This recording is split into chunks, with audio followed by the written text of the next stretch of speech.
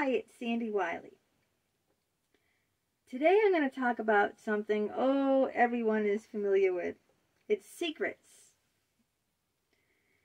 We all have them at, or had them at one time or another. Um, we've all expended a great amount of energy trying to keep them. And is it really worth having the secrets? I tell you no. I don't believe in having secrets. I think secrets destroy relationships and you have to expend so much energy, time, and worry about someone finding the secret out that it's just riddled with anxiety. Think about it. If you're trying to keep a secret and you don't want anyone to know, um, you're going to worry about people finding that out. Um, you're going to go to great lengths to try to cover up your secret. But if you are honest with everyone and have no secrets, no worries, right? Now, growing up, this is a book I wrote Life with My Schizophrenic Father. My father had schizophrenia, but growing up, I never knew that. I didn't know my father had schizophrenia until I was in my 30s, after I was married and had children. Why? Because I was never told it was a secret. What my mother did is say, You know your father isn't right. Well, what does that mean, isn't right? You know? I never knew that my father had a mental illness. I never knew that I had a mental illness, borderline personality disorder. I didn't know a lot of things. In fact, I didn't even know my own nationality. My mother used to say that I'm half Italian, but from the northern region, not from Sicily. Never ever tell them that your um, grandparents came from Sicily, which they did. Tell them they came from Naples. Later on, um, when my father died, I found out that it was Sicily. I don't know why, but they believed Italians from Sicily uh, were more damaged goods, I guess, than Northern Italians. I don't know. Also, they, they told me never tell people you're Portuguese. I'm half Italian, 25% Portuguese, and 25% English. I don't know why that was a big secret either. And there was another big secret. My mother, my father was my mother's second marriage, not my mother's first marriage. Another secret. You see all these secrets? So in this book, Life with My Schizophrenic Father, I tell all about my childhood. No more secrets the secrets confused me growing up. I didn't know. I, I was like baffled. Like, who am I? Am I Portuguese? Am I Sicilian?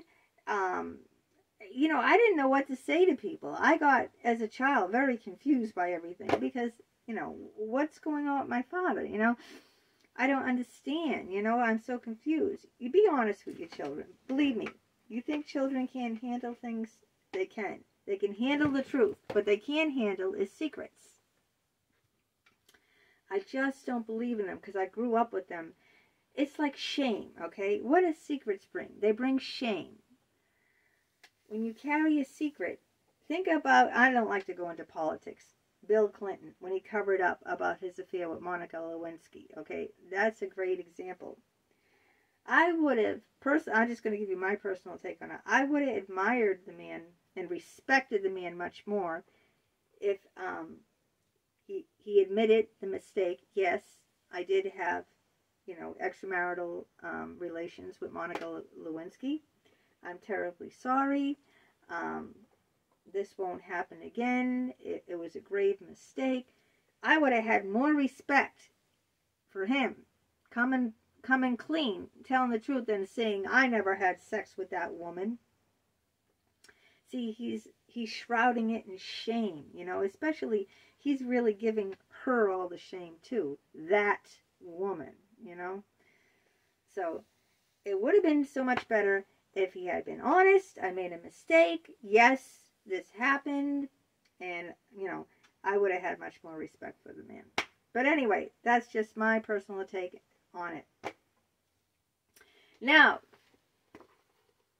Dr. James Barbaria, Emails of an Unethical Psychologist. He hid the deepest, darkest secret of all sex with a borderline patient. You can never have sex with your patient. You, you lose your license. It's an automatic, it's malpractice suit. You can get sued. You can go to jail in some states. You lose your license. And he tried to hide the relationship with me from everyone. And let me tell you how much shame that brought. He brought himself shame and he brought me shame because he didn't I didn't see his family. He never took me to see his brothers. He um his friends didn't know about me. His best friends didn't know about me. I was like a closet uck. Rhymes with puck. That's what I was because the whole relationship was on a secret. The whole relationship. And secrets breed shame. They breed shame. And he went to the grave. He died at age 62 of a heart attack because I went to the board and filed a complaint and they were going to prosecute him and he could not stand to go trial. He knew he was going to lose his secret, and then he would um he would lose his license, also lose lose the secret. He'd have to tell all his patients that he can no longer practice um, because he, you know, had sex with a patient. So he died. So he didn't have to live in shame by divulging that secret. Imagine he'd have to tell every single. But anyway, what I did is I put all his emails and I put them all in this book because I'm through with secrets. I don't believe in secrets, and I want people to know because people, you know, they have this guy on a pedestal. That's not the only guy. They have this guy on a pedestal. Love bombed by a Harvard psychologist, Dr. Richard Geist. Harvard. And he teaches at Harvard now, too and he he lectures throughout the country.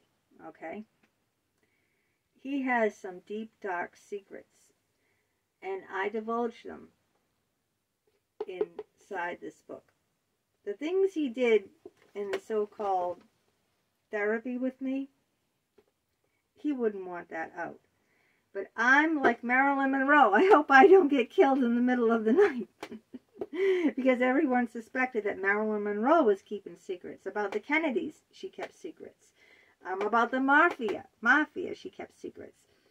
There, so there was, uh, and she was keeping a diary, and I think she was going to let make that go public. And there's a lot of controversy, conspiracy that she was killed because of those secrets. Secrets are never a good thing. This is the last book about the affair I had, Love Outside the Boundaries. And that looks just like Dr. James Barbaria. He looks just like that. Um, people keep secrets, and it really is like a big, big weight on their shoulder. You know, very, very big. It's it's so much easier to tell the truth. For instance, I had uh, an affair at work when I was a security guard this older security guard, over 20 years older than me, kept pressuring me to have sex, and I was in a very low point of my life. Um, it was only like a two month affair, very, very short. And I ended it. And I told my husband about it. And I also, you know, um, went to the human resources and reported him for sexual harassment because after I broke up with him, he wouldn't stop bothering me for more sex. He'd be pounding on the security door because um, he worked in the mall across the street from me. and he he would call the security line and harass, harass, harass, harass. Well, I told my husband everything that happened, and one night, ten o'clock in the middle of the night. Well, it's not in the middle of the night for some people, but I go to bed very early. His wife calls, and my husband answers the phone, and she goes, "Do you know that your wife is having an affair with my husband?" Now, I think she did that call so to punish me, you know. She already knew about the affair because I called, um, I had made a complaint with Human Resources and I think they let him go from the job. Um, I don't know really what happened, but he never went back to work at that mall after that. I don't know the details. But anyway, I think she wanted to punish me by telling my husband. And she wasn't punishing me because my husband already knew. And my husband answered her like this. My husband said, Yeah, I know. I'll take care of my wife and you take care of your husband. Good night. I bet she was shocked. I bet she was shocked because she probably thought, you know, she was really sticking it to me by telling my husband. But see, if I had kept that secret and I didn't tell my husband, what do you think would have happened then? he would have been finding out from that man's wife. And then there would be a big confrontation. And then I'd either have to lie and try to cover it up or, you know, fess up and deal, you know. I just don't think secrets. Picture this scenario now. You have two best girl pals, right? Now, you tell one best girl pal something, and you tell her not to tell anyone okay? You don't want anyone to know. Then she goes and tells your other best girl pal that you didn't tell, you know, you didn't tell her. You only told, say you didn't tell Sue, you only told Anne, okay?